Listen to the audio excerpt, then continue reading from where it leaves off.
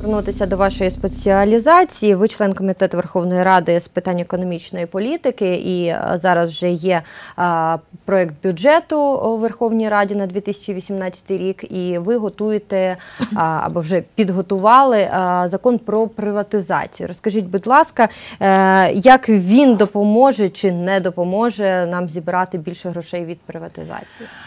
Це законопроект, який був е, розроблений і поданий Кабінетом міністрів. І цього тижня на комітеті з економічної політики ми рекомендували його для прийняття в першому читанні.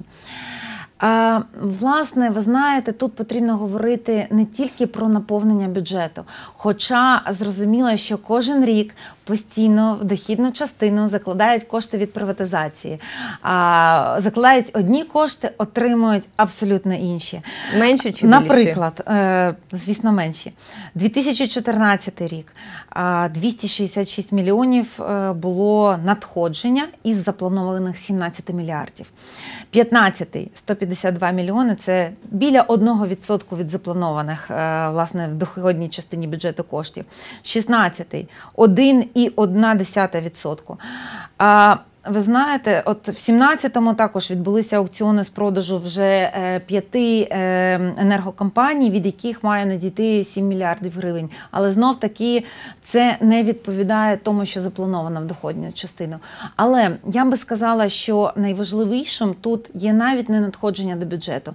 Найважливішим є власне те, що приватизація може стати елементом боротьби з корупцією, адже найбільшою корупційною складовою і от ланкою, якою можуть займатися політики, це є викачування грошей через державні компанії.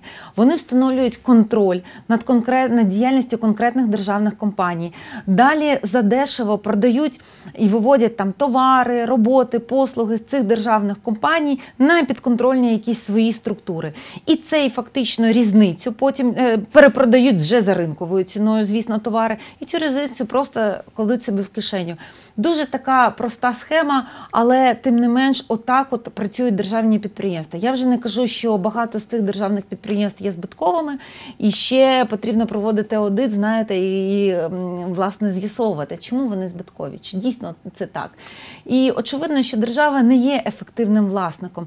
Тому мені би дуже хотілося, щоб в Україну прийшов справжній інвестор, будь то український чи іноземний інвестор, і щоб в приватизаційному е, процесі відбулася справжня конкуренція, власне, і боротьба, таке змагання е, пропозицій. І саме для цього потрібно приймати закон про приватизацію і виписати це так, щоб, по-перше, приватизація могла пройти ефективно, а по-друге, щоб вона була максимально прозора.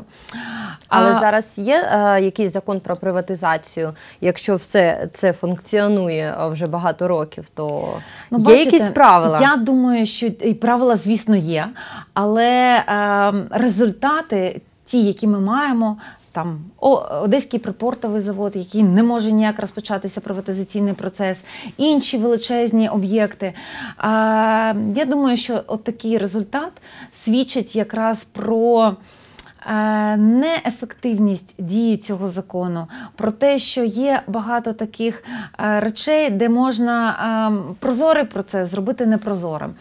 Саме тому, зокрема, і в цьому законопроекті ми будемо, я його буду підтримувати в першому читанні, але точно я буду вносити зміни і пропонувати зробити ту запропоновану запропоновану процедуру Кабінетом міністрів України більш прозорою. Адже там є також е, різні нюанси, наприклад, залучення радників, суб'єктів, які є незалежними, які повністю готуватимуть об'єкт до приватизації, які е, повністю такий моніторинг і фактично супроводження процесу здійснюватимуть, щоб це не був тільки фонд державного майна, незалежні радники. Тобто процедура, щоб стала більш прозорою. Але як зробити цих е, радників незалежними? Бо в нас спочатку незалежні люди, потім з'ясовується, що все це куми тих олігархів чи людей, які повинні це е, приватизувати. Вони, значить, тоді не є незалежними, але е, в будь-якому випадку, коли кабінет міністрів пропонує норму е, про те, що у Е, там випадках, визначених кабінетом міністрів, радники можуть не залучатися, то очевидно це може свідчити про Е, певну непрозорість в подальшому власне приватизаційного процесу. Тому потрібно зробити так, щоб ранники залучалися точно для всіх об'єктів великої приватизації, принаймні. І от такі речі треба виправляти. Крім того, в закон е, існуючий про приватизацію, колись були внесені зміни, і під гаслами ні країні-агресору ми не допустимо, щоб країна-агресор і її представники брали участь в приватизаційному процесі провели е, ще такі досить цікаві зміни. Додали е, фактично до країни-агресора ще такий термін пов'язані особи. І на практиці це призводить до чого? Що будь-який інвестиційний фонд, е, який зі своїм походженням там Великобританії, Сполучених Штатів і так далі, який має, наприклад, в компанії, яка створена в Російській Федерації, там 25%, скажімо, всього, а він вже може бути визнаний таким, що є пов'язаним з фактично компанією, яка має походження з країни-агресора. І, власне, за діючим законом він може бути усунений від приватизації. Я не можу оцінювати, чи це сталася величезна помилка, чи це спеціально таким чином усунули потенційних іноземних інвесторів від, від приватизаційного процесу. Але я сподіваюся, що голосуючи і розглядаючи цей закон про приватизацію, ми зможемо цю помилку виправити. Адже дійсно ми маємо обмежити напевно представників, які відповідно там щодо яких застосовані санкції для того, щоб вони не заходили сюди в країну.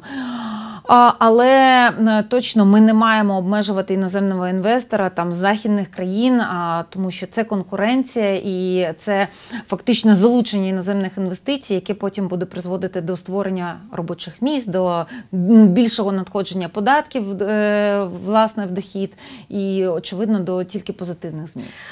Чи є зараз е, інтерес е, і довіра іноземних інвесторів до України, до підприємств? Чи хочуть вони взагалі? Їх приватизувати?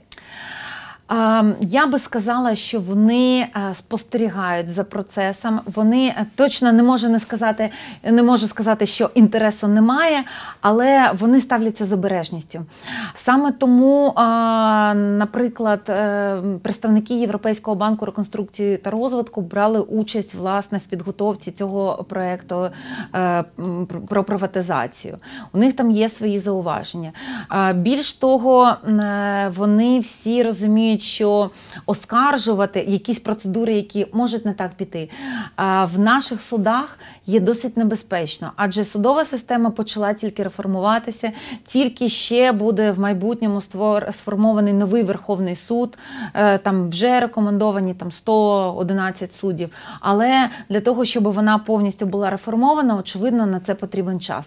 І саме тому, власне, ми пропонуємо надати можливість можливість потенційним іноземним інвесторам застосовувати до договорів приватизаційних, по-перше, англійське право.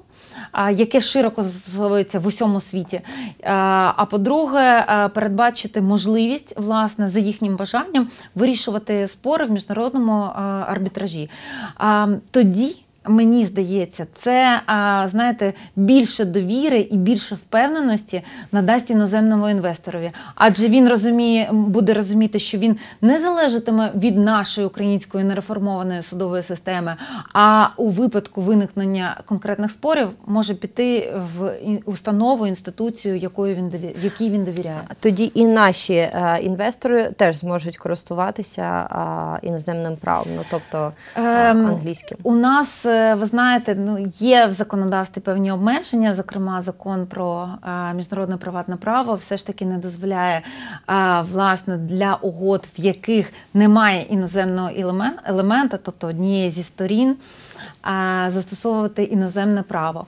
Але ем, з іншого боку, ми, е, я була автором законопроекту, який вже проголосований, але, на жаль, ще чекає підпису е, президента Законопроект про корпоративні договори, яким ми якраз намагалися деякі а, власне інститути англійського права запозичити а, для того, щоб вони стали інструментом українського права і надати можливості, принаймні потім акціонерам між собою а, з- е, укладати акціонерні угоди, застосовуючи інструменти англійського права.